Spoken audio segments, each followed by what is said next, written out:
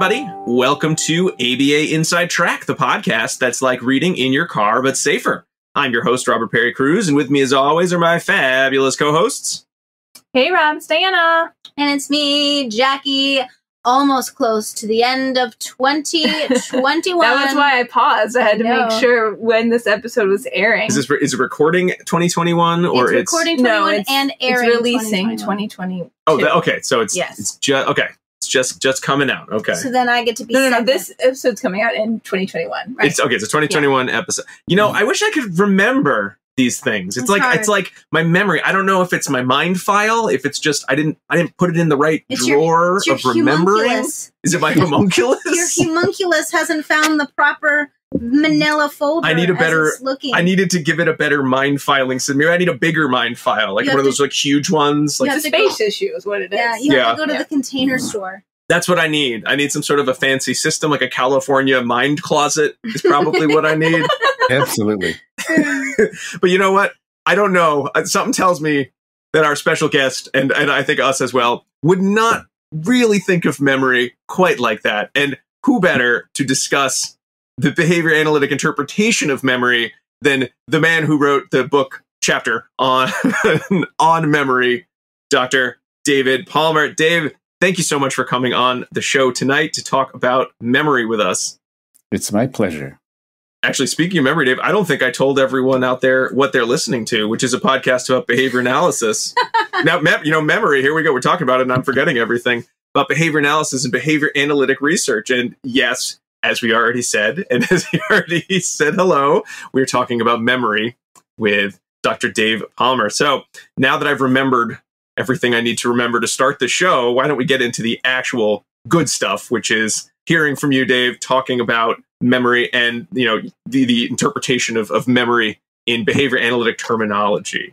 Okay. But before we do that, in case there are listeners out there who do not know who you are, it's it's a, it, it's going to be a, a minority of listeners. But for those few, would you- would you mind telling us a little bit about yourself? Not at all. I was not a psychologist in college. I was a geology major and, and an English major, and eventually just graduated in time to dodge the draft. And in those days, this was when the Vietnam War was raging. I, I picked up a copy of Walden 2 off a friend's bookshelf, and I read it, and it just, I found it electrifying. So I spent the next 10 years or so trying to start a Walden 2 community. So I was living hand to mouth and trying to squeeze a living out of various practical jobs that might be helpful to a community. And all, all the while I was reading Skinner books. And so I was a self taught Skinnerian. And I was more and more astounded by the power of Skinner's analysis. You know, I started off with Walden 2, which was idealistic. Uh, uh, by the way, Ald- Walden 2, for those who don't know, is a fictional utopia organized around behavioral principles written by Skinner. Then I read the rest of the Skinner canon on my own and was just overwhelmed by how parsimonious and, and powerful his, his account was. It was when I read the papers on phylogeny and ontogeny of behavior, when, I, when he talks about the analogy between shaping by reinforcement and evolution by natural selection, and the, the parallel between the two processes was really hit me like a hammer because it, it suggested that the reinforcement principle is extraordinarily parsimonious and powerful, just like natural selection. And just as natural selection can, in principle at least, explain the evolution of any any old beast that you can think of, reinforcement has the power in principle to explain any permutation of behavioral mutations and so on. So it just seemed to me to be so parsimonious, so elegant that it just couldn't possibly be wrong. Anyway, I, I wormed my way into graduate school through the back door, kind of by parking myself on people's doorsteps and saying, I'm not going to leave until you accept me. And I ended up in grad school at UMass in, in 1980. And I was working with John Donahoe. And together we were quite compatible because we were both interested in those phenomena, those behavioral phenomena that kind of lie on the periphery of, of the field, the things that are most difficult to explain. We both felt in, sort of intuitively that there must be a behavior analytic interpretation of the full range of of behavioral phenomena, and and so we were attracted to those those puzzles that that kind of lie at the fringe. And that and when I got my degree, I got a job teaching statistics at Smith College, which was convenient because by that time I was already settled in this area, and I didn't want to move to you know Kalamazoo or mm-hmm. Gainesville or someplace. So I so I was happy to take that job teaching statistics, and I stayed at, at Smith for thirty years. I had the one behavior analysis class, but there that was only taught maybe half the time. So it was mainly my job was teaching statistics. But I'm still a hard boiled Skinnerian, and I I don't retract anything that I dreamed about when I was 21 years old. Did you ever read Not the? everyone can say that. Yeah. Did, Yeah. did you ever read the "Enjoy Old Age" by Skinner? Oh yes, uh, several times. It's one of my favorite. Yeah, when it first came out, when it didn't really apply to me, and then I reread it at least twice more, and and now I it's particularly salient to me now because there's so many applications of it. Wow. So, Dave, your your story of getting into behavior analysis is way better than mine. Of I needed a job right after college, and there was a school for autism down the street from where I was living at the time. So, Uh-huh. uh, Well, however you, however you get there, that's the important thing. that's true. I think yours yours is the much more I think romanticized version of what everyone wishes their you know their journey was. The It's always fall in Western Mass. Yeah. I know, Always yeah, and it's perfect throughout setting. I know. Yeah. Ah. The leaves. So tonight we will be talking about your 91 chapter, A Behavioral Interpretation of Memory from uh, Hayes and Chase's Dialogues on Verbal Behavior. Mhm. And kind of funny thing, Jackie, right before we started recording, Jackie was mentioning that kind of the genesis of in- inviting you on because, you know, we we had a chance to run one of our BABAT specials and certainly we've, you know, either seen you talk or seen you uh, around all these times, but you know, we, we're, we're we're still we're still after a number of years doing the show. We're very nervous of actually reaching out to people. Still, like, Oh. it must be on a podcast. Like, come on. so true. But uh, a listener emailed, and I want to read it. It's like, I-, I really would love to hear and love Dave Palmer, especially the conceptual papers on memory and dreams. But anything he wants to talk about, I'll listen to. and then I was like, okay, yeah, that's like a really great idea. I'll reach out. And then she's like, fingers crossed. And then I wrote back and said, yes, he's interested. And she wrote, I am freaking out. Dot dot dot dot dot. Seriously! Exclamation place! Exclamation! Ah, thank you. Long lines. But you you left out the like emoji that, That says, says, "love, "Love it. it." on the top. So, listener Roseanne, this is for you. okay. All right. Well, Well, hope, hope we don't disappoint her. Right. we have an audience of at least one. Yeah. So I guess the place we should probably start with with memory, Dave, is you know Rob will now sing the song "Memory" from oh jeez yeah. Uh, is what what is sort of the classic non-behavioral viewpoint of of memory? What what what memory is? So maybe the way you would have thought of memory before you wrote this before you wrote this chapter or the way the average person sort of probably thinks of you know memory when just asked in the street hey what's memory? The way the average person thinks of memory and the way the average psychologist thinks of memory is as a storage bin for experience and that we, whatever we do gets filed away in this immense library somewhere in the head. And when we have occasion to recall something we we have to go into that library and fumble around through the books until we come to the volume that has the memory in it. And then we pull pull the memory out and their behavior at that point is governed by what's on the page of that book in that in that library. So it's a it's a storage metaphor that memories are packed away in the head in some kind of format that they can be searched for found and retrieved and control our behavior I think you you describe it very nicely in the in the chapter that the challenge with that. Well, well, I mean, you know, I, I think you even agreed. It's kind of an elegant metaphor, but it doesn't really give us as individuals much to work with. You know, what, are we talking about? Like, oh, my my neurons have a, a filing system, or oh, as I add more neurons, or you know, uh, pa- pare down neurons, that somehow makes some memory. Like, it- it just becomes a circular you know discussion. Yes, it, it doesn't really explain anything. It's it's a it's a metaphor. You know, it's kind of a plausible mem- metaphor because we are changed by our experiences, and and those changes reveal themselves day to day, and month to month, and so on, and, and decade to decade. So there's a there's a plausibility to it, and the problem is just a metaphor, and and there's no no way to put any meat on the bones of that kind of theory. An argument I like to to make to people is let's say, well, I went to the dentist yesterday. So if you ask me today, what did I do yesterday? I said, well, I went to the dentist. If we were to take a break and come back tomorrow, and you said to me, what did you do? And you wanted me to tr- retrieve the the the dentist memory. What would you say? Would you say, what did you do yesterday?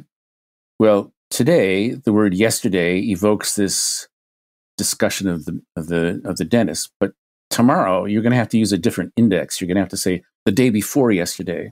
Well, what how did you does do the day before the day before the day before the Yeah. day before the day before yesterday? Exactly. It, it, it implies that every every day at midnight, some little army of homunculi run around the brain and change the labels on the books because uh, the yesterday book is no longer going to have yesterday's memories in it as soon as the as midnight happens. So so everything's got to be card catalog has to be updated every every 24 hours.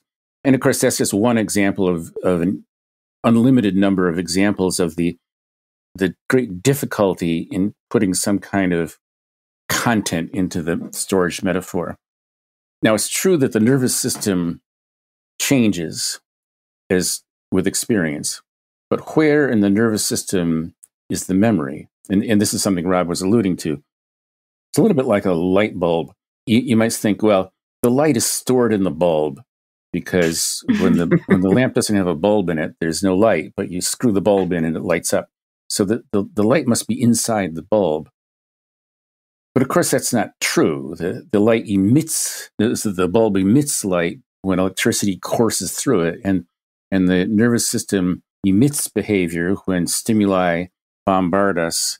So we're more of a conduit than a, than a, than a repository of memories. That is, the memory is evoked, or, or the, the behavior we call memory is evoked by the context and the stimuli.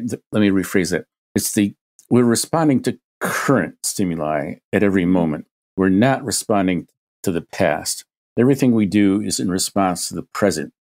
And if we behave with respect to the, or if we seem to behave with respect to the past, what we're doing is behaving with respect to stimuli that are evoking behavior that was perhaps conditioned in the past, but it's the present stimuli that are evoking those behavior, that, that, that behavior.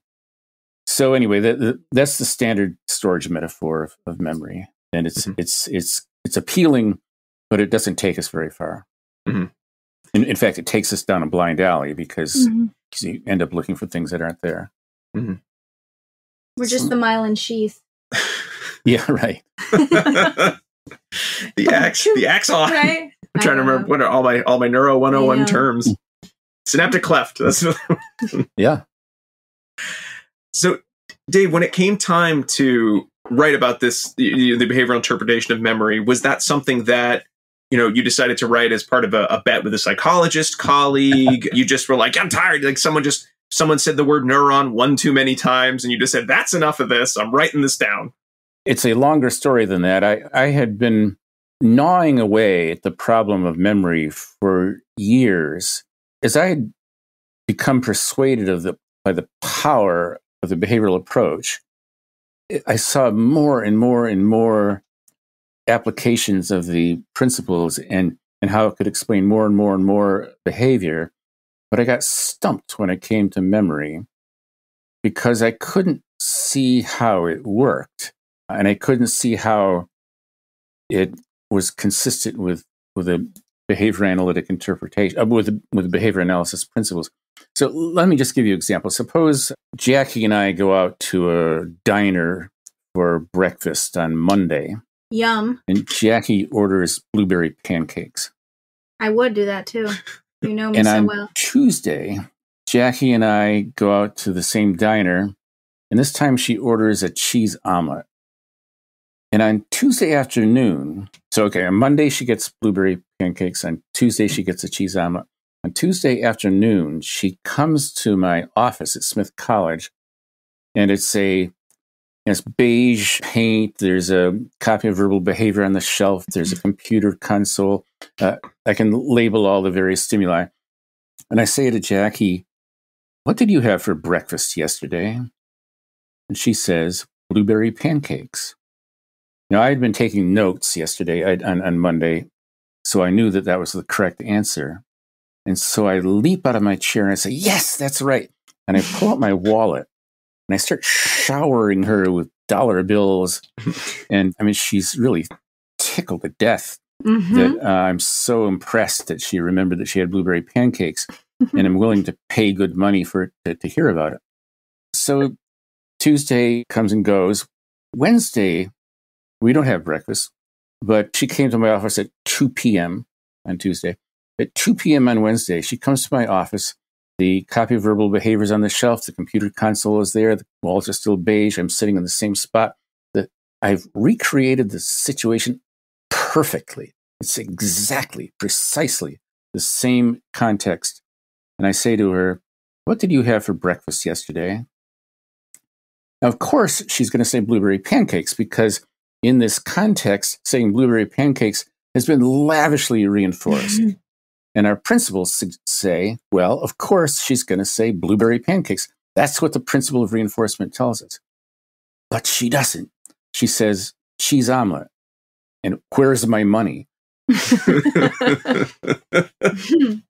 And so the question is where did cheese omelet come from and why doesn't she say blueberry pancakes? Because the context is precisely the same. Now, everyone says, well, uh, of course she said cheese omelet because that's the right answer. That's not good enough. Question is why? How? How does she know that that's the right answer? How- uh, what, what's controlling her behavior at this moment, at this time? So, so that was the the conundrum that I was wrestling with, and that was even before I started graduate school. I, I started graduate school, in, but but r- roughly, let's say roughly 1979. In 1980, I started grad grad school, and I started. Now I was among the bigwigs, so I started Mhm. asking professors and fellow graduate students, and I was flabbergasted to discover that they had the lamest ideas about how memory worked. They said, well, it's just the endurance of stimulus control. Or one person said, one elite person in our field said, it's temporal, it's controlled by temporally remote stimuli. Yesterday's breakfast reaches forward in time to control behavior, Jackie's behavior 24 hour or 30, 30 hours later. So I, I found those explanations preposterous or, or, or just inadequate. They, they weren't they weren't ridiculous. They were just inadequate because they didn't really grapple with the problem. And I was surprised that they didn't see it as a problem. And that makes me think that your listeners are not going to see it as a problem. So I don't know how to persuade people who don't sort of get it off right off the bat that it is a problem. You have to we have to be able to point to the controlling variables of your behavior at every moment in time. And when Jackie says cheese omelet, we have to know what it is that's controlling that behavior. And and you know, we can we can resort to the little box in the brain. We can say, ah, it's the the book. The book says cheese omelet, and the homunculus changed the, the headings to yesterday, and so on. So uh, is is not satisfactory. So anyway, the that that's sort of the backstory. And I had by 1983, I had finished my master's thesis, and at UMass to proceed to the PhD, you have to write something called a comprehensive paper, which is analogous to, to a review paper today. A comprehensive paper that integrated a number of different domains of psychology. So I, I chose memory because it could be looked at from a cognitive, developmental, behavioral, or clinical point of view. So there were at least four different perspectives that one might take on memory. That's a lot. Yeah, yeah. but I, I basically didn't say anything at all about the other three points Oh. of view. Uh, I I just uh, devoted my concept my time to this this one topic, and I struggled and struggled and struggled with that concept with with the, with the with the with the topic because it just wasn't working to my satisfaction. But the more I chewed on it, I remember the the time I was I, I was working late at night in the psychology building, and I and it was the psych building was connected to the English department, and I was walking through these deserted corridors at night, pounding my head, and I lay down on a on a heat register in the English department, dark, and it was then that I realized, or somehow it had occurred to me that memory is not a homogeneous phenomenon that it's a heterogeneous phenomenon that the that the kinds of things that don't fit in a stimulus control context are not really memory at all. That they're problem solving. Mm. and when when i realized that everything just started falling in place. That is, we really have two phenomena. We have memory as what i call a stimulus control phenomenon and memory as a problem solving phenomenon. And they're they are quite different explanations for phenomena. And that was where the paper came from. I, I wrote I wrote it up in, in in 1984 actually, and I presented it at a conference in 1986. And there were a bunch of bigwigs at that conference, and and they were, you know, and I was just this little nerdy graduate student, so it was gratifying that they that they appreciated it and encouraged I'm glad they me. were nice to you. Yes, they were. They were very nice. It was. It was. It was quite flattering that they were Mm-hmm. so excited by the idea. I, I find it hard to believe that they'd be like, no, I'm pretty sure that this long, well described uh, phenomenon you're talking about. No, no, I think the one about the temporally reaching forward, I think that's the one we're going to go with. You know? Yeah, it wasn't published till 1991 because of some glitches. It, everyone at the conference agreed to submit their papers to a common book, and the publisher backed out. And so uh, Mm. Steve Hayes eventually came forward and, and arranged to Oh. start the publishing company, Context Press, and that was, I think, the first book in that series. wow. Ah. That's good. That's big, big Good in a lot of ways. That's really Yeah. cool. I thought it was reviewer two. Reviewer two. You know, the reviewer two is the horrible reviewer. Right? Oh, Your yeah. tough reviewer. Yeah. I see. Yeah.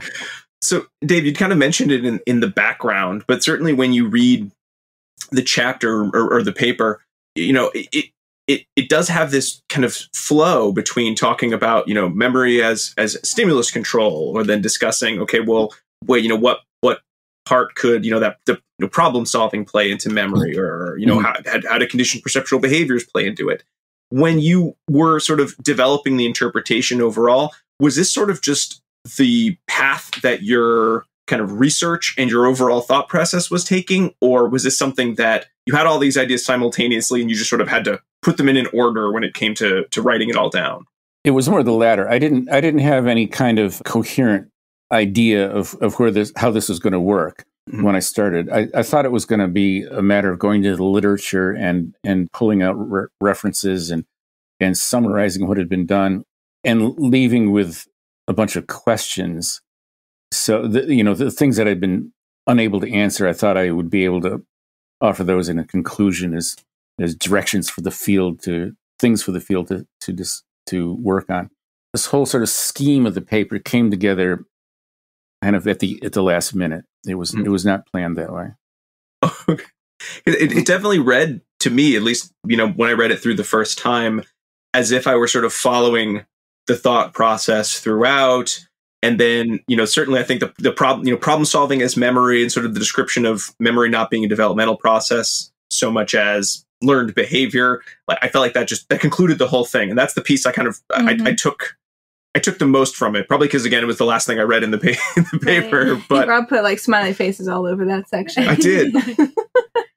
I think that's a sign of a well written paper, not Yes. just of you, Dave. Is, That's a story. is when you're able to take your reader from a concept they don't maybe know that much or thought that much about all the way to the end, and they also feel like they've discovered it with the writer along the way, even though the writer really knew all along what they were doing. Well, the, the the paper itself was written after the. I, I wrote the paper for my committee in 1984 or 85, eh, 84, I think it was. And I wrote the paper that's you're reading in 1986 when I was presenting at this conference.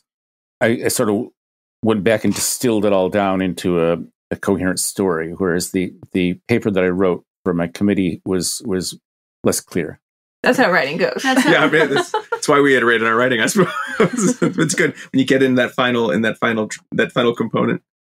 So, Dave, why don't we take a little break and then we'll come back and we'll get a little bit into the into the meat of the paper itself, and you can describe every different section because there are a lot of not every single but you know we'll, we'll get the, the gist of it for the for the listeners and it, might be hard to describe the whole thing uh, while they're you know folding laundry or driving in a car okay great all right we'll be right back hey everyone before we get back to our conversation with Dr. Palmer, I want to remind you all that ABA Inside Track is ACE approved. And by listening to the show, you're able to earn one learning credit. All you need to do is finish listening to the show, then go to our website, abainsidetrack.com slash get CEUs. That's G-E-T hyphen C-E-U-S and enter in two secret code words. And since we have a special guest, we have special guest secret code words. The first one is BARD.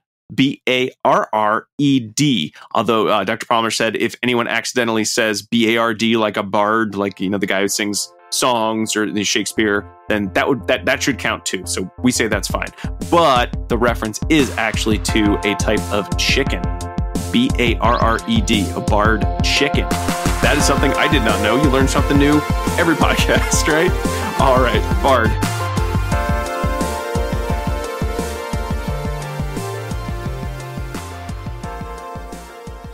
Do you want to be a BCBA? Sure, we all do. Now you can come to Regis College in Weston, Mass to get your graduate degree. Choose from any one of these courses Masters of Science in Applied Behavior Analysis, Masters of Science in Special Education, dual degree in Special Ed and ABA, or be eligible for your postmaster's certificate. You can complete your degree and be ready to sit for the exam in two years. And our 2017 grads had a 100% pass rate on the BACB exam. Come enjoy practicum placement support, ethics mini handbooks, PhD level professors, small class sizes, and a service trip to Iceland. If interested, don't delay. Supplies are limited. Learn more at regiscollege.edu. Again, that's www.regiscollege.edu, regiscollege.edu. One more time, www.regiscollege.edu. See you there!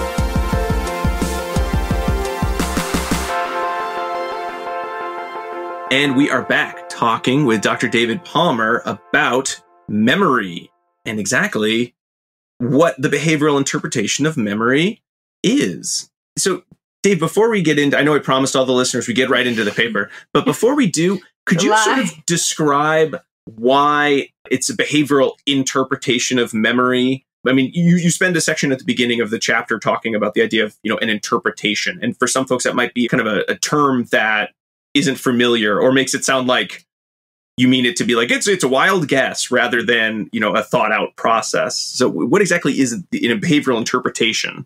Yes. Okay. Uh, well, I got this from Skinner. And by the way, I, I want, want to preface everything I say by saying that naturally, when I was working on this paper, the first thing I did was to go to Skinner. But if you look through the indexes of Skinner's books, there's no mention of memory, or the, or what there is is just this, a piddling little reference here and there. Mm-hmm. And although I had read, I had read verbal behavior and science and human behavior, I didn't remember. I didn't realize how much Skinner does talk about memory in those in those books. And in fact, the stuff that I, the conclusion I came to is completely compatible with everything Skinner did say. Well, I guess I'm I'm patting myself on the back for discovering independently. I, I didn't actually get it from Skinner, but he, of course, had thought about all this stuff. He never bothered to, to write it down in a coherent package about memory, so I, I didn't didn't know how much he had said scattered throughout all of his all those books. you know, a few pages in science, human behavior, mm-hmm. a couple of pages in verbal behavior. But in any case, the idea of an interpretation I got squarely from Skinner. This also was a powerful idea. Skinner's verbal behavior when he set out writing verbal behavior, he he had planned, sort of as I did with memory, to talk about a lot of empirical stuff. But he realized that there really wasn't much empirical work for the bulk of what he had to say. And what an interpretation is, is an explanation of some real world phenomenon expressed exclusively in terms principles that have been derived from a laboratory analysis. A, a good analogy is with physics. Much of the physics I learned when I was in college came directly from Isaac Newton. And Newton formulated the three laws of motion, you know, uh, inertia and action and reaction and so on. A body at rest tends to stay at rest and whatnot. Way back in the late 1600s, those principles he derived from experimental analyses that he conducted with, with pendulums and inclined planes and, and colliding billiard balls and so on. And it's rather astonishing that he was able to extract these principles from his experimental analyses, but he did. He was able to, to do so, along with some powerful mathematics that he also invented.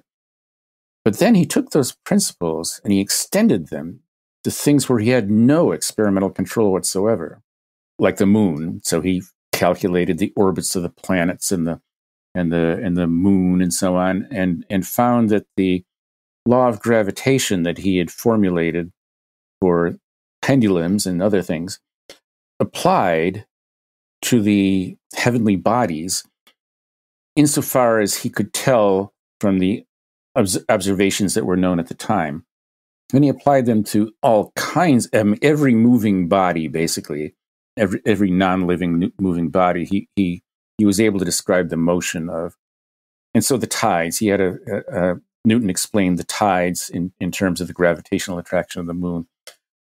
And we all accept that as scientific. That is, that we, we think the universe is the way it is eh, because it's been proven scientifically.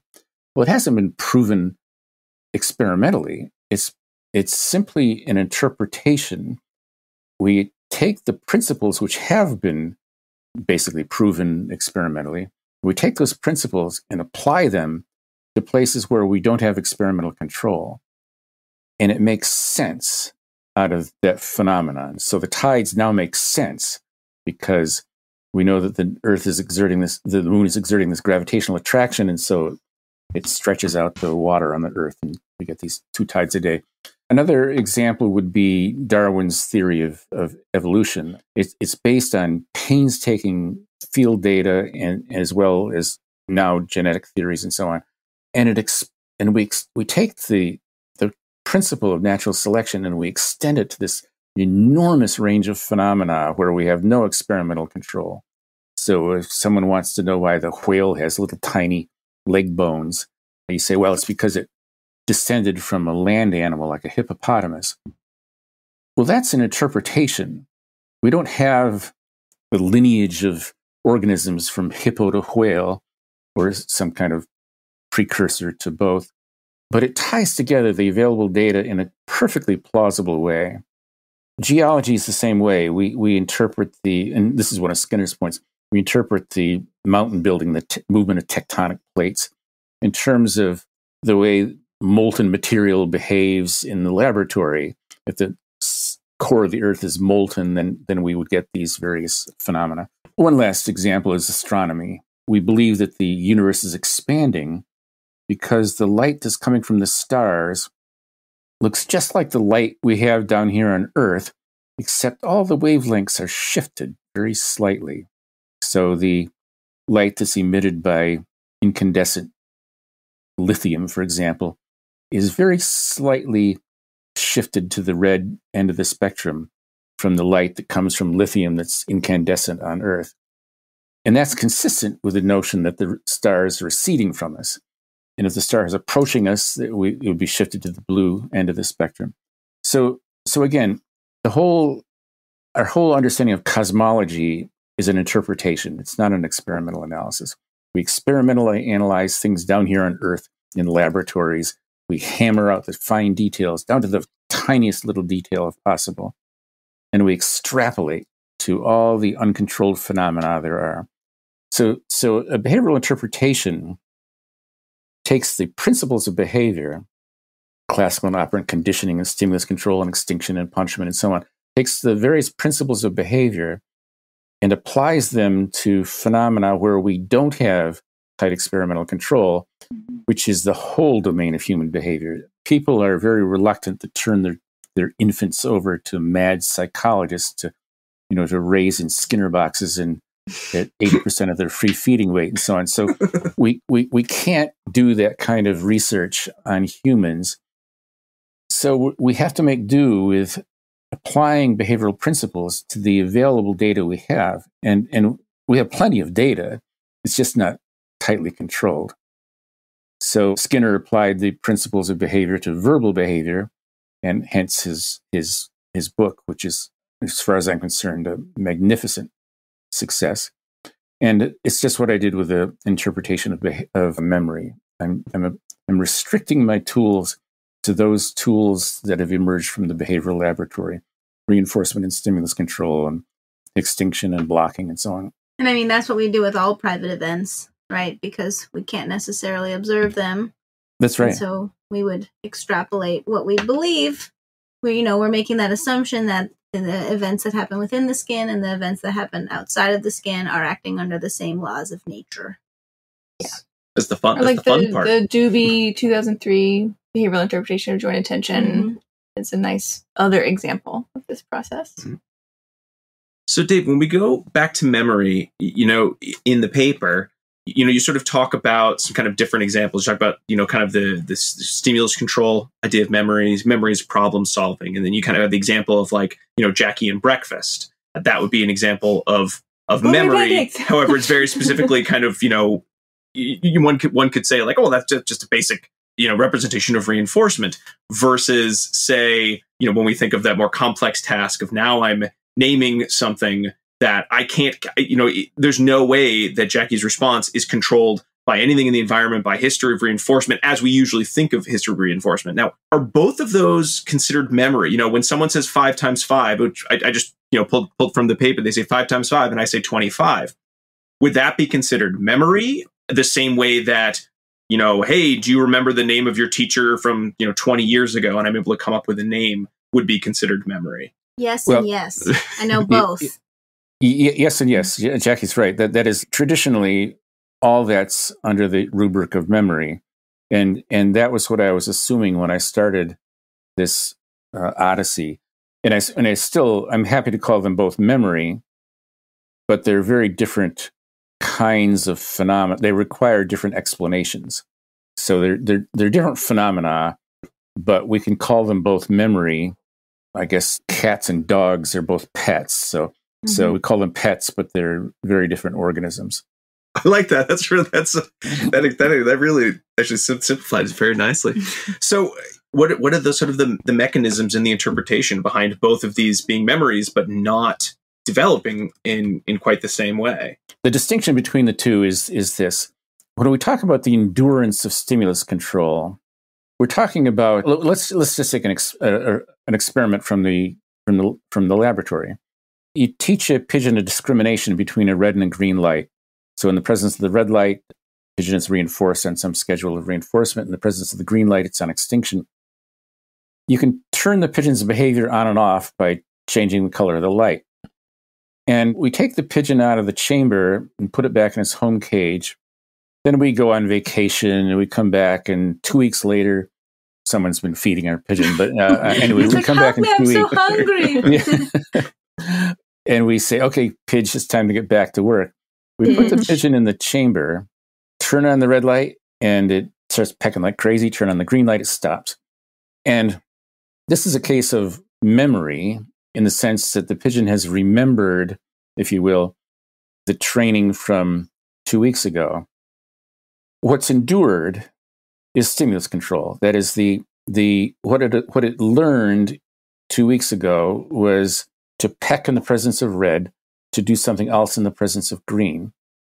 And when the red and green lights are presented at a later time, the behavior is under the control of those lights because of the history of reinforcement. there's nothing mysterious about it. It's simply a straightforward. It, follows in a straightforward way from the principle of reinforcement. Re- reinforcement, you know, increasing the probability of behavior in the context in which reinforcement occurs, and so on. So we can think of that as the endurance of stimulus control. And as an aside, pigeons can remember pigeon stimulus control can endure for a very long time in pigeons. Mhm. My advisor, John Donahoe, had done an experiment, a discrimination experiment with a pigeons, a pigeon named Henry, in his learning class around 1970. And pigeons live a long time, and so he, when Henry was done with his semester, he put him up in the breeding colony up on the roof of the building, which was a big concrete building, gray concrete concrete with chicken wire surrounding it. You can't do that Uh, now, I don't think. No, unfortunately. yeah. Henry was up there for 12 years Wow. before Donahoe said, I wonder if Henry remembers his tricks. So he brought him back down and turned on the lights, and Henry responded appropriately with respect to the, th- it was a three color discrimination. Now, the important Henry. thing about this, it just shows that stimulus control can endure. Uh, th- this was remarkable, and it surely would not have happened except for one feature of Henry's experience. Henry had never seen red, green, or yellow lights in the interim, or red, green, and blue lights. I can't remember what it was.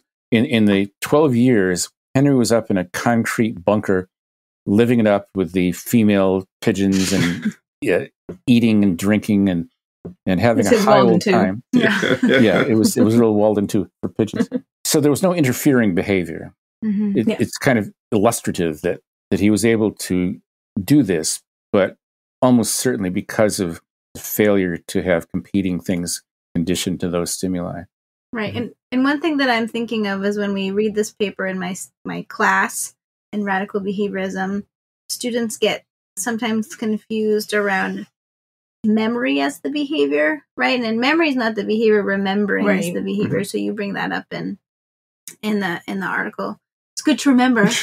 like right, the memory is is the interpretation and the remembering is the behavior that we're looking at. That may, you know, be sustained or not.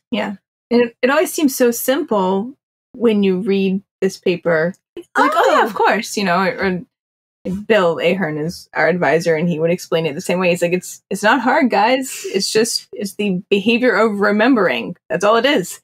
And you're like, yeah, yeah, I get it. I totally get it. But the the issue is that we are inundated with the storage metaphor of Mhm. memory and our language is constructed to talk about it through that metaphor so it's just it's really hard i think to escape from it and try to think about it from this behavior analytic perspective Mhm. Yes, that that's right. It is it is so ingrained. We tend to think of memory as the as the behavior, but but but you're right. The the memory is the is, is the pecking of the key. Right. or saying blueberry pancakes. It's the behavior that has to be explained, not memory. And w- once we've explained the behavior, we've explained all there is to explain. so funny when I first started dating my husband, this is like way back in the way back time machine. We got into a fight about memory and You storage file, and I still remember it. But we didn't talk for two days Oh dear. because because he told me, and I was like, "This is going to be the end of it. This is the end hmm. of our relationship before it's even begun." Because like he's like, "Of course I have like a storage file," and I was like, "You've got to be kidding me." This is the, what is going to break our relationship up. And we didn't talk for two days, and we had to like sit down. Wow. I actually had him read your paper. I'm sure he really he's not a behavior analyst He's not. people Loved right. that. He's- haven't ever thought about this and even a lot of bcbas may never have thought Right. about this but he did right. read it, and he did appreciate it. he reads a lot. In your husband's defense, he reads a lot about science, so He it's, it's it's not like you know he's But he isn't a behavior analyst. At that point, he was a poet, and he did appreciate your writing Mhm. too. So that was funny. I remember. I'm remembering that now. That that was like our big, our first big fight Yikes. surrounding memory. Oof. Well, I'm sorry to have been the cause of. of it's like I just learned this. So, Dave, when we talk about memory as sort of that long term stimulus control, but then you also in the paper talk about memory as sort of that problem solving technique. And this was my favorite section of of the article I, in terms of remembering i remember where i was you know we'll talk maybe a little later about the you know conditioned perceptual behavior i remember where i was and i was my son was swimming and like a swim lesson and i'm sitting and reading and I'm, this all makes sense you know the examples you present and then i believe i actually tried to model good remembering on the car ride home. Oh. you know, I know it wasn't an advice, it's not an advice paper, but I still was like, I, am going to try it out and see if, if this is, you know, how his, how his memory or his remembering skills develop. Mm-hmm. But could you talk about that process as well? Because I, I, I, that, I thought that was the most, so exciting. Right, right. I, I, th- I think that's the, it, to the extent that there's an original bit, that's the original part. The, the memory is a stimulus controlled phenomenon is a straightforward extrapolation of, of behavioral principles. So we expect the pigeon to peck the the green key and so on. When we when the stimulus is, is presented a second time or at a later time, we so to speak expect the organism to behave according to its reinforcement history. And before we move to this other thing, I will say that regarding how long it will endure, for, in Henry's case, it endured for you know most of his life. Where does forgetting come in? We don't, so to speak, remember every stimulus that's been correlated with reinforcement in our history. Where does the failure to remember come from?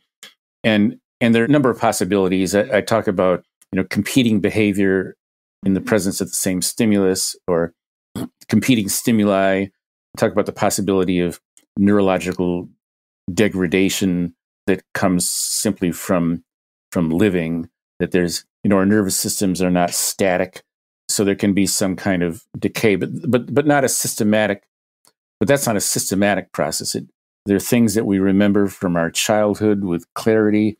There are other things that we that have been lost. So it's not as if you forget. You know, you can remember something for six years and then it all goes away. But there are a number of reasons why stimulus control might not be might not endure indefinitely. Hmm. It's funny when those things that do though, right? Like when you remember the lines from your like third grade play mm-hmm. about popcorn. Like why is that there? well, and I think that gets into right. some of all these other kind of yeah. you know, mediating factors. I, but anyway, sorry that one. When I read that, I was like, yeah, since I can repeat that, like peanuts, popcorn, buy some today. We have it all for you in this little tray from my third grade play. Can sing the whole song. Yes, I bet you can. Well, no, that's that's that shows the endurance of stimulus control. But there are probably things that you can't remember from third grade, like everything else. right. yes. So, turning to the memory as a problem-solving phenomenon, this is a case where behavior is brought under control of a stimulus through reinforcement at one time, and then that same behavior is called for at a later time, but the stimulus is not present. So it's as if we said to Henry the pigeon, okay, Henry, we're not going to turn on the lights. You just got to go through your routine. Now, that goes beyond the behavioral principles. That is, there's no principle of behavior that suggests that the behavior should just happen in the absence of the controlling variables. So when I say to Jackie, what did you have for breakfast yesterday? If the only time she's ever heard that question was the day before, and so on, and, and Wednesday I asked her, what did you have for breakfast yesterday? If nobody ever asked her about yesterday's breakfast in her entire life, her whole experience would be confined to what happened on Tuesday. And we would surely expect her to say blueberry pancakes. That is uh, what, what happened on Monday. But in fact, she doesn't. She, she talks about what happened on Tuesday because now it's Wednesday. Yesterday was Tuesday. So, anyway, the point is the stimulus conditions seem to evoke one thing, but we get something else. We get something which is actually scheduled for reinforcement. That is, I'm going to reinforce her saying cheese omelet, not blueberry pancakes. I want her to answer the question correctly, not robotically. So I don't want her to just parrot out the answer for Monday. I want her to, to thoughtfully figure out what she did on Tuesday. But there's nothing in the environment that evokes saying Tuesday's breakfast. There's nothing that evokes cheese omelet mm-hmm. in the context of Wednesday's discussion. The, the, the room at Smith College has nothing to remind her of, of, of cheese omelet. So it's a problem. What, what makes it a problem is that I'm, you know, implicitly going to shower her with gold if she answers correctly. In other words, I'm offering reinforcement. Usually, when we ask a question, no gold is involved, but but but there's there's still a contingency there. That there's a slight social pressure to answer a question honestly, and so on. So there's there are contingencies. To say that the response is scheduled for reinforcement is is correct. I'm just making it a very explicit, mm-hmm. lavish reinforcement to to illustrate the point. So it's scheduled for reinforcement, but the the rooms, the Smith College office does not evoke saying yesterday's uh, whatever it was, uh, cheese omelet. Yet that's the right answer. So she has to go about supplying herself with mnemonic cues that will evoke cheese omelet. That is, it's not it's not the Smith College room that's evoking cheese omelet. It's what Jackie says to herself. And if Jackie is non-compliant and and refuses to behave, she says, "I ain't doing nothing until I get my gold." Nothing can make her say cheese omelet except her own behavior with respect to her own repertoire. So she will start to prompt herself with mnemonic cues. She'll say, Well, let's see, what, what's today? Today's Wednesday. Okay, yesterday was Tuesday. Well, Tuesday is the day that my husband writes poems, and uh, they drive me nuts. So I really have to bulk up on my proteins on Tuesdays. she starts probing her repertoire with behavior that is its strength.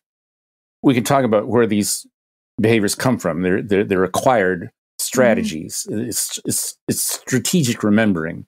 Jackie has learned how to, to probe her repertoire to, to evoke verbal behavior with respect to the past. But the point is that it's, it's formally, formally, perfectly analogous with problem solving of mm-hmm. a generic sort. That is, a problem, we have a problem when there's some behavior scheduled for reinforcement that is not currently strong. So we have to go about bringing that behavior to strength, the, the, the behavior that solves the problem. So if I say to you, what's two and a half percent of 124, and you don't have a calculator and don't have access to the internet or something, it's a problem because I am implicitly promising you at least approval or, or praise or, or something. There's some social pressure to, to, to show that you can do it. And so you get out your pencil and paper and you start twiddling around with numbers and, and you come up with the answer 3.1. And I say, yes, that's right. Well, where did 3.1 come from? Well, it came from the mediating behavior of writing down the number 124 and multiplying by 2.5%. And there's some shortcuts that you could use. You know, 10% is 12.4 and 2.5% is a quarter of that. So there, there are various mediating behaviors that you could engage in to come up with a number 3.1. It doesn't come from nowhere. It comes from the products of your mediating behavior. In the case of a calculation like that, we all do it more or less the same way. Well, there, there, are only there are a few ways to do it, but but we all acquire those strategies through our experience in school and in life as well. If we happen to do a lot of mathy things, so explaining how we solve a math problem is easy because most people do it the same way. And so it has a lot of plausibility. So I, so even if I don't see you writing the, on the, on the paper, I can infer that you've done so. And, and of course, you can do it in your head. You can do it in your head, as I said, by saying, well, it's, it's a quarter of a tenth. So 124 divided by 10 is 12.4. Divide that by 4, you get 4 to 12 is 3. 4 into 4 is 1, 3.1.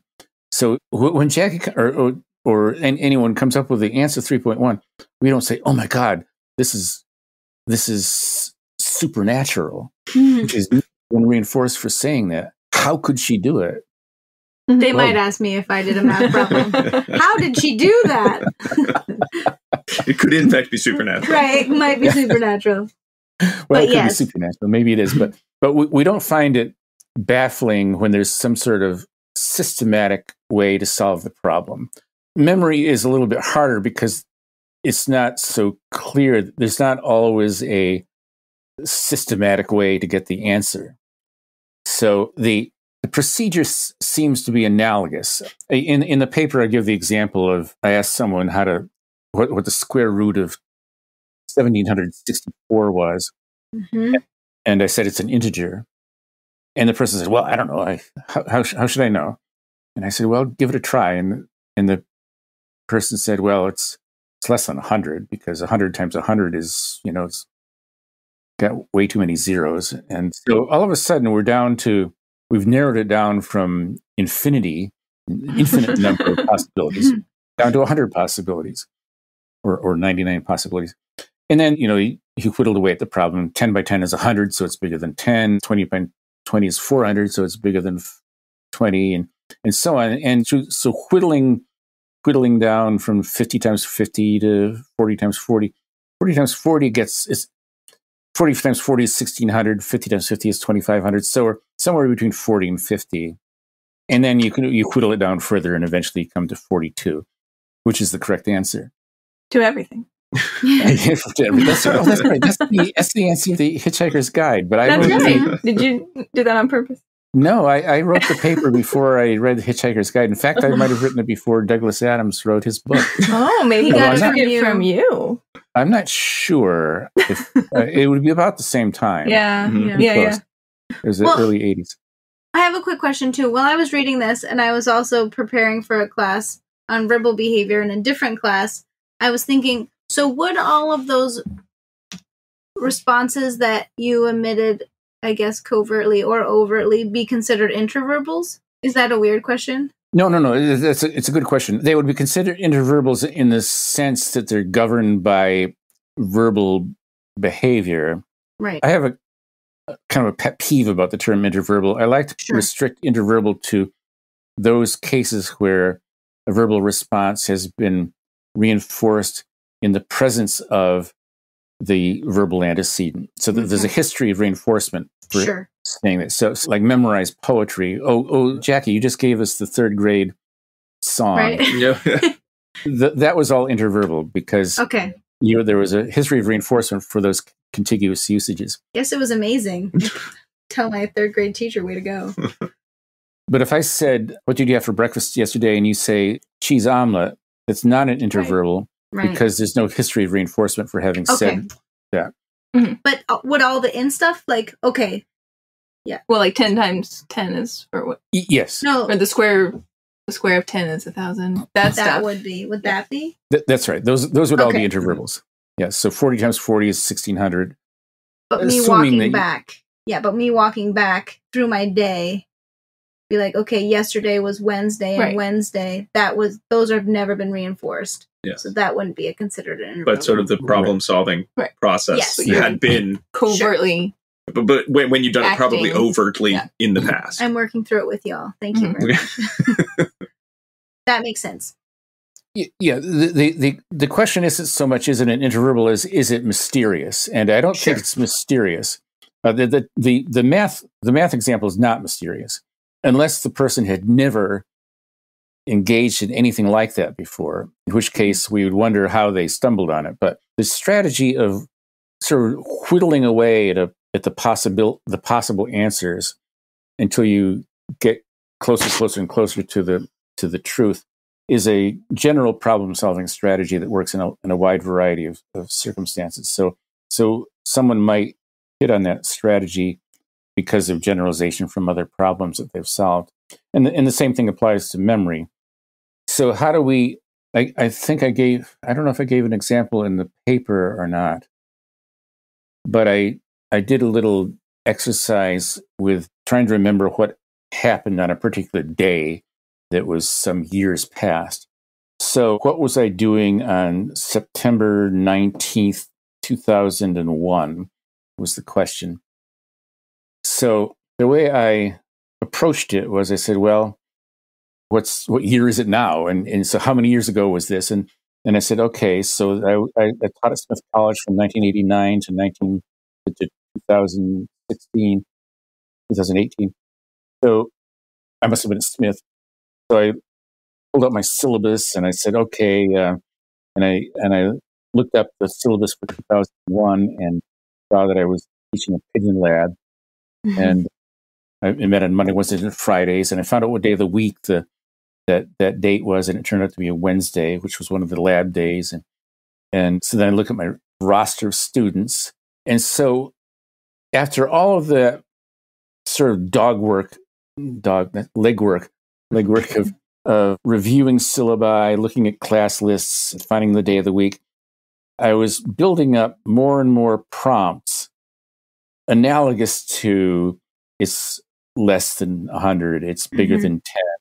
I had whittled it down to I was at Smith College that day running a lab. Now, I didn't remember which lab it was, but then I went through the syllabus and I recognized a couple of names on the syllabus. And I said, Oh, yeah, that student was really proud of her pigeon. So while I didn't ever say, I, I was never able to say definitively, well, this is what I was doing on September 19th, I was able to say with some probability that Sonia had been shaping her pigeon mm. that day. And given that it was only the third Wednesday of the semester, it was probably the day she was doing chaining. So that would be my answer. And it would be a hell of a lot closer than saying, I don't know. Yeah. Everything's closer than that. yeah. And going through similar kinds of stuff, we prompt things where we are fairly confident that we have the answer. And so we need to talk about where that confidence comes from and so on. Mm-hmm. Recognizing that we have a correct memory, if you will, mm-hmm. that is that we've that we've recreated behavior that, that was acquired in the past how can we be confident that that behavior really was established in the past in, in, in the context of which we're, we're asking? I, I guess that's that's that then becomes the question. So the you, know, you have all these mediating variables, makes sense. You engage in problem solving, and at some point you just get tired of it. You just, I'm just going to say something and hope for the best, you know, hope some social reinforcement occurs or people leave me alone and I don't have to answer this question or. Yeah. Well, well, that's, that's a good question. With math problems, there's a distinctive algorithm or there's an algorithm that leads to a distinctive solution. That is when we're doing a multiplication problem, we do this and then we do that and we do the other thing. And, and, and then we read the, we read the answer off the bottom of this flurry of calculations so we know that that is the answer. At least that's the answer we've calculated. Whether it's right or not, it's another matter. But we there's a distinctive end to the math problem because of the nature of the algorithm. With memory, it's not so clear because people say they remember such and such, and it can be proven that they're wrong. Uh, I know that was a red car that ran into my bicycle and in fact, it turns out it was a blue car. So, so people have false. Their their behavior is lawful. They say it was a red car. Saying it was a red car is con, is is under the control of the current constellation of variables. They're mm-hmm. sure that they're right, but in fact they're not. So, so it's that what makes us think we're right. So it's not so much whether we are or are not right. What makes us stop engaging in memory mnemonic behavior and, and say, now I have it. Well, the actual event, when, once that behavior is emitted, it becomes a variable that controls other behavior. So right. if you really did have a cheese omelet, then it's going to start evoking memory of the waiter, you know, giving you this big fat bill for cheese omelet and, and how you dribbled the cheese omelet on your on your blouse, and your husband was going to memor- memorialize it in a poem, and, and so all, all happened. Of, all of these associated things come to strength once you have the anchor. Mm-hmm. It's to turn into a reminiscence. That is, uh, mm-hmm. it, it, sort of builds. You, you build up associations from that to things that that were immediately around you, and and and you can you can you can picture it in a conditioned perception you can start recalling incidental features of the experience. That sort of reification, uh, the rebuilding of the experience in the present, has a lot of corroboration from all of the supporting behavior that comes to strength. So, and, and that's fairly commonplace when the event is recent. So, so we can, we, for example, all three of you could probably remember yesterday's events with some clarity. But if I asked you about a month ago, yesterday, it would be, it would be a, more of a struggle. It would be a real struggle. Well, unless, unless it were, what did we do a month ago Wednesday? And then it Oh, probably yeah, had something to do with recording a podcast. And then we Right. could, you know, look at our list of, the, you know, we Yeah. could use some Well, of those. E- Exactly. and, and and once you said, "Oh, that was the the podcast with that Palmer guy," he, he he's so conceited. He he thinks he's better than Skinner and so on. Uh, so so you would have all these associated. I don't think I'm better than Skinner, believe me. Uh, but uh, all these, yeah, as you say, if it were Wednesday, you you would, you would be able to talk a lot about what happened. And, and once you Yeah. started, once you once you fastened on which uh, person you were interviewing, then there would be a whole cascade of associated conditioned responses. mm-hmm Oh. So, Dave, I, I know we're, we're we're getting close to the end of our, our time. So, I, I definitely this is a selfish question, but I sort of wanted to ask your potential interpretation of, you know, what what I consider one of my favorite, you know, memory tricks, and it's that I'm I'm very good, not the best in the world or anything, but I'm very good at recalling actor names just from hearing their voices. So, you know, they're in like an animated movie, and I go, oh, that's and then I'm able to name who they are and all the things. So is is this an example of just that that stimulus control sort of form of remembering? Like, oh, I, I- it's associated with some sort of reinforcement? Because I'm pretty sure no one that I know, and Diana, you can corroborate this, has ever reinforced whether with money or social praise the fact that I've been able to do this. I can't do it at all. Well, there's always a possibility that you're a genetic mutant that is some new kind of creature on Earth for which my theories don't apply. Right. So, so you can recall the name from hearing the voice. Well, at, at the time, at the time you hear the voice, let, let, let's let's look at some some extreme examples. Suppose you watched a movie, and you of course heard the heard the voice of the main actor, but you had to leave before the credits rolled, and you didn't recognize the actor, so you wouldn't know the name of the actor. So it would be impossible for you to recall the name simply from hearing the voice. But let's suppose that the next day you said, Who was that actor anyway? So you went on the web and you looked up the movie, and it said the actor who played the role of the, I don't know, the vicar or something was uh, Hugh Grant. Oh, okay, you'd recognize him. But anyway, it was uh, Elmer Fudd. You see the name separate from hearing the voice. Would you be able to, at a later time, I mean, uh, a month later, six months later, would you be able to get the name when you hear the voice? Yeah. Mhm. You would. Okay. So, I would not. Mm. Ever. Yeah. But you would, Rob. I would. Our kids Okay. can do this too to some degree, so there might actually be a genetic thing. I think I've modeled. I think I've modeled the the behavior. I've given them lots to. A lot of problem solving they can go with through. but the point is that this would be a case where it's not contiguous. That is, you uh, Right. if you heard the if you heard the voice at the same time, you're thinking, "Boy, that Hugh Laurie, he's a great actor." You say, "Oh, and he- he's got this English accent sometimes, and an American accent other times, and it's hard to believe, but it's the same guy." Uh, yeah, then there's an example. When you hear Hugh Laurie speak in an American accent, do you say Hugh Laurie? And when you hear him s- hear say it in a British accent, do you say Hugh Laurie? I think so because I think I've I've heard him I've heard him do both voices. So yeah, that Yeah. one I think I could.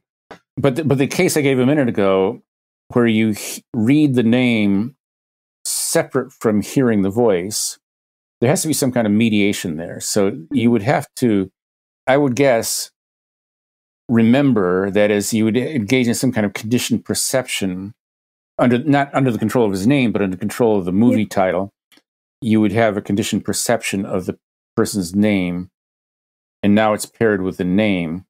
Sorry, the person's voice, and now the voice is paired with the name. uh, now I'm making all this up, uh, and, Mhm. and and you can make it up as well as I can. That is, I don't have any inside track uh, of truth here, uh, but I think it's not implausible. I think it's not implausible that you you hear, you engage in conditioned hearing. Yeah. That is, I I can, like right now, I can I can imagine Beethoven's Fifth with the timpanis and everything Mhm. Mhm. at least the first few notes. And I think that given your particular interest in actors and their voices, that you you would perhaps hear yourself recreating the voice at the time you read the, the name. In, in other words, I have I have no idea how you could do that. Mm. It- that is, you have to you have to bring the two into contiguity in order for them to be to be linked like that. And Mm. and it seems to me that you are the one that's you're, you're bringing the voice to the reading of the of the name. But in the usual case, where you know the actor's name and you hear the voice, then they're contiguous. So so you you might be saying, uh, "Oh, I love this guy," and you're hearing him talk. And but you also might have uh, what what's special about you might be your interest in accents or just the topography of people's voices, whereas most people might not just just just might not have that that kind of interest in the distinctive way, the idiosyncratic way people people speak. Sure. You can become more discriminating Mhm. in in anything if you Yes. study it, right? So you you you have that with voices in a way that Uh-huh. most people don't. Definitely not me. No, no, You're no. I'm always I you're always so embarrassed by me that I don't Yep. know who that actor Come on, is. you gotta know. I would be. You would hate me so much. like how do you not know? Like, I, I don't know. It's that one guy that's in the Hallmark movies. That's how I can do it. Well, Rob, you you you now have a reputation for this, so it might make you behave. You might That is attend, if you will, more Mhm. closely Mhm. now that you know that your reputation's on the line. And if your colleagues find out you can't do it, you'll never hear the end of it. So, True. so you That's might. true. Uh, this is your. This is your thing. That's good. That's the thing I'll, I'm going to be known for. That's that's so great. Well, Dave, I appreciate you taking the time to put a lot of thought behind a really self-indulgent question after you've already been talking to us for so long. So I thank you. I, I am really touched and honored. Uh, I, I love behavioral puzzles. I, I, I don't know that my explanation was was persuasive, but but but it seems to me to be to, to have the least superficial plausibility to it. So, Dave, uh, you know, as as we wrap up, I think you know we do a section at the end of the show, the dissemination station. Okay, thank you. Jackie did not remember that that is her cue. I didn't know that was my cue. I thought That you was were your going to cue. continue Oh. talking. Oh So no, was that's why I stopped and pointed at you. I was trying to give you as many Yeah, you know, sorry. cues as possible. Certainly, I think read the paper. You know, use use what's in there to continue with you know thinking about behavioral mm-hmm. puzzles. But it's not like sometimes when it's oh you know we talked about preference assessments. Here's how you would use a preference assessment. You know, would you say that people who you know listen to this they read the paper they're they're they want to discuss this behavioral interpretation do you think they will make more friends if they go to their developmental minded or their neuroscience minded colleagues and share this information with them because it, it does seem that everyone just wants to hear about things as brain. Brain this. Like the like they Mm. love that like like we, you said at the beginning of the show everyone loves the mind file. They love the Mhm. storage solution. So is this something that we're just going to keep to ourselves as as behavior analysts? Something that you know we, we should be sharing you know this this separate this different interpretation with less like-minded individuals? What do you think? Well, I'm I'm being self-centered here, but I think I think this is right. I, th- I think I think the paper that I wrote is correct. good, right? That's good. yeah, I, I think it will te- stand the test of time. And I must say that most of the cognitive metaphors have have been in the rubbish bin for you know they, they last for a few years and then then they're rejected. But in in talking with people from different disciplines, it's really important not to be dogmatic or confrontational or arrogant or get into battles. The persuasion is a shaping paradigm if you want to get someone from point A to point Z, they have to go through the whole alphabet to get from A to Z. And you can't try to get them there in one step. So be, becoming confrontational and saying, uh, y- y- you, you guys are full of baloney. This this behavioral interpretation is the way to go. Is not going to persuade anybody of anything. So Hmm. I, I would suggest.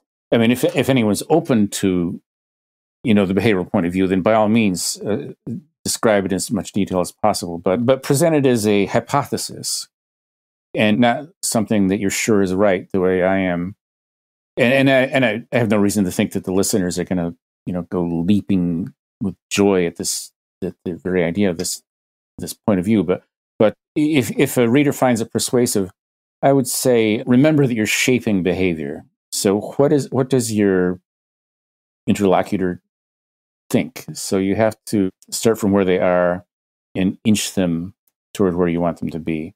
So don't be dogmatic, don't be confrontational, but do be a good listener and and try to find that that possible next point of agreement by whatever that might be. It would be idiosyncratic. But the neurophysiologists would have no problem with this point of view. The it's the cognitive psychologists who are who feel as though they have a dog in the fight where they, they have to, you know, defend the, the cognitive metaphors. But the neurophysiologists know that there's no no box in the head Mhm. uh, that they're glial cells and and cerebral spinal fluid and blood vessels, and then there's a scadillion neurons, and that's about it. So they want a, a theory that's compatible with with that point of view. And the stimulus control memory is a stimulus control phenomenon is perfectly compatible with that. The memory's problem solving is much too complex to to give any guidance to a neurophysiologist. Dave, thank you again so much for coming on the show for talking all about this, you know, very very complicated interpretation. Although, like Diana said, not. but also Also not. I, not. I, I think definitely like re- reading the paper. It was like, yes, this makes sense. This makes sense. When I then was trying to explain to someone, oh, I just read this great paper, it was a little harder for me to then put it in my own words. So I had to go back and read it again. But when I when I was reading it, it, it all made so much sense. so if anyone is listening and they're like, oh, I don't, that sounds too complicated. You know what? It's it's it's all there in the paper, and I think very well very well laid out. Well, thank you. And anyone who wants to read it, do you have a link for it, or I, I, they can write to me. at, We'll uh, link it. Yeah, we'll okay, link it. And, and, and give them, Yeah, I'll give them Dave, my if you'd like to share your your email for folks Oh, if they have their, their own, if they want to ask you about their own bizarre memory Yeah, yeah. tricks, you Oh, know. by all means. yeah, it's it's it's DC Palmer at smith.edu. Uh, Jackie has the email address. so- Yeah. Once again, we want to say a big, big thank you to Dr. David Palmer for coming on the show, talking all about memory, a concept that when we first started preparing for the show, I said this is going to be impossible. But then reading the paper and then getting the real enjoyment of hearing Dr. Palmer talk about writing it and the concepts behind it, I think makes a lot of sense. We hope you agree too. Again, if you're not still not quite sure, definitely read that paper. It all makes sense. We, we promise. All three of us promise. And Dr. Palmer, prom- I don't know if he promises to, but I'm, I'm guessing he, I'm guessing he would think strongly of that. Want to make sure you get that last secret code word? It is rock, R O C K. Whether it's the mineral made up of, I don't know, minerals, what what are rocks made of, or the again, you know, type of type of bird, uh, rock. Either way, we won't know which one you're thinking of when you type it in. But please do type it in, rock. And that brings us to the end of the show. Thank you very much for listening. If you like our show, we really love it if you left us a review on uh, Apple Podcasts, Spotify, Stitcher, wherever you uh, you know listen to your podcast. Maybe even subscribe to the show. That would be so helpful. There are a lot of other ways that you can reach out to us. We're on all of the social medias as ABA Inside Track. You can find these episodes posted on YouTube with the YouTube subtitling feature. You can go to our website, abainsidetrack.com, to find links to all of the articles that we discuss, as well as our back catalog and places to purchase CEs for any of our episodes. You can also, if you would like even more ABA Inside Track, go to patreon.com slash ABA Inside Track, where for just $5 a month, you're able to subscribe, get episodes a week ahead of time, plus get access to multiple special events we're doing this year. We're doing live episodes that only patrons can join. You are, we're doing some Q and A's with some of our behavior analysis friends on a variety of topics that uh, listeners have either asked for or seem to enjoy. And if you're interested in even even more than that, well, at the premium $10 level, you can join us for our quarterly book club podcast where for 2 hours or more we discuss a behavior analytic or behavior analytic adjacent book. We recently just put out our discussion of Nudge, the final edition, the behavioral economics classic, I guess it would be called. So if you want to hear about that, plus get two CEs as well as some discounts on other CEs just for joining in, that's patreon.com slash ABA Inside Track. And if you want to send us an email with feedback or questions, please feel free to do so at abainsidetrack at gmail.com. I want to make sure to again thank Dr. David Palmer for spending the evening with us, for Jackie and Diana for co hosting the show and always having so many great questions. Thanks to Dr. Jim Carr for recording our intro and outro music, Kyle Sturry for his interstitial music, Dan Thabit of the Podcast Doctors for his editing work, and Hollis Urban from Sycamore Workshop for his visual designs. We'll be back next week with another fun filled episode, but until then, keep responding. Bye.